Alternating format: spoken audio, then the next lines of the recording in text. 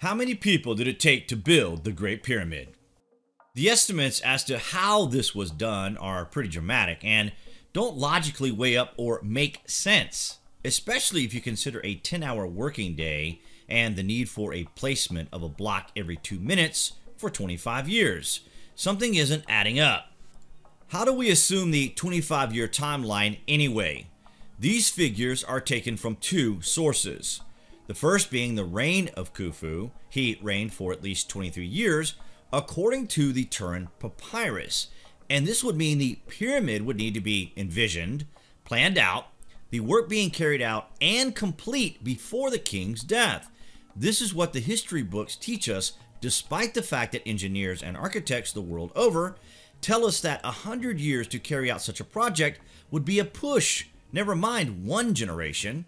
The fact of the matter is that our education system is pushing on the boundaries of what we will accept as logical.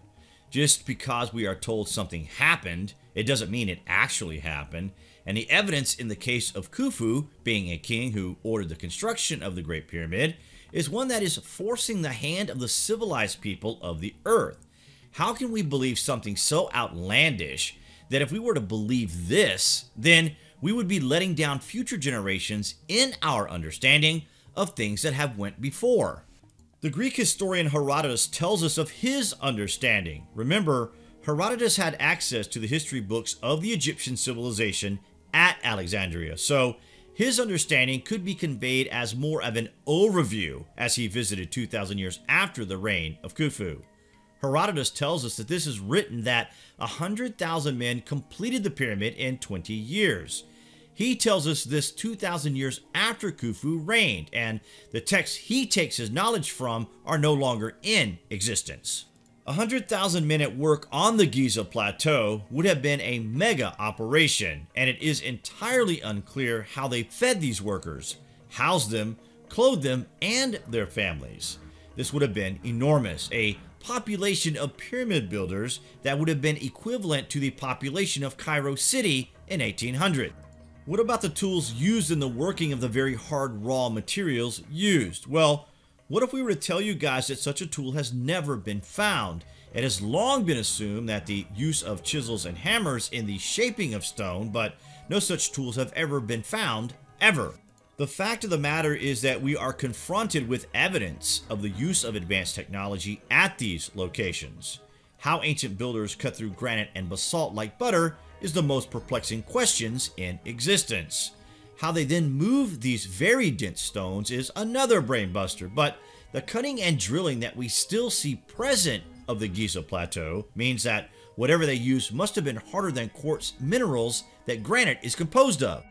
This suggests the use of a diamond, as that is what we use to cut granite today, with one exception. The ancient cuts are more accurate than the modern cuts under a microscope, further adding to the massive enigma. The historian and scholar Abd al-Latif tells us that in the 12th century, the Great Pyramid is covered with an indecipherable language. This is probably dynastic hieroglyphics, and this is a great clue in our understanding of the Great Pyramid because this tells us that it survives mostly intact to the 12th century. It still had its casing at this time, and apparently it was covered with glyphs shortly after it was stripped for the purposes of building Cairo City until the casing was gone. Important stones like the Rosetta Stone has since been recovered as building material, but the true scale of the loss of the ancient stone documents is out of this world.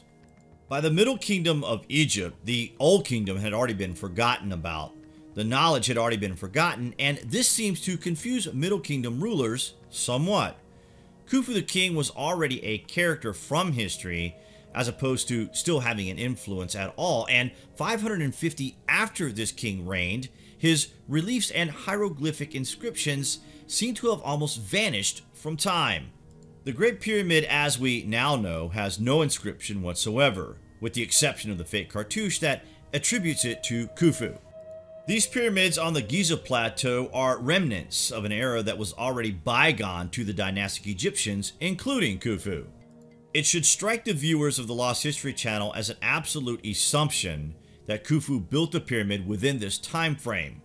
We get the range from his reign of 23 years, despite this being impossible, and we get Khufu as a king from the compiling by Manetho of a king list that is still the basis for all framework in our dating of the Egyptian kings. This is despite Manetho living two centuries after Herodotus and his original kings list being lost, but translations written. We rely on this despite it being inaccurate, to a degree of being impossible regarding the Old Kingdom of Egypt and Khufu. This characterization and grouping of the 30 dynasties are probably just popular tradition of the following dynasties trying to recall the Old Kingdom.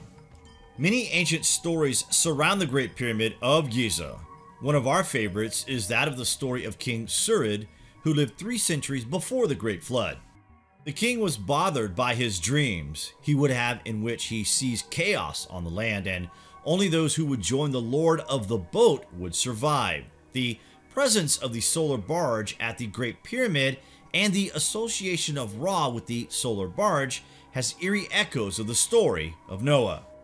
Arab legend maintains that the Great Pyramid was the tomb of Hermes, the Greek counterpart of the god Thoth. Just like the king Surid, he built the pyramid to preserve science and literature after the Great Flood. That is all from us for the moment. More evidence and understanding as to why we don't believe the Great Pyramid on the Giza Plateau was built by a king named Khufu. To consider that this industrious feat of engineering majesty is a tomb for a king who ruled over a primitive people, fighting back from the brink of extinction after the cataclysm is mind-boggling to us. We simply cannot connect the King Khufu with the Great Pyramid construction, so why are we believing it as a fact? What do you guys think about this anyway? Comments below, and as always, thank you for watching.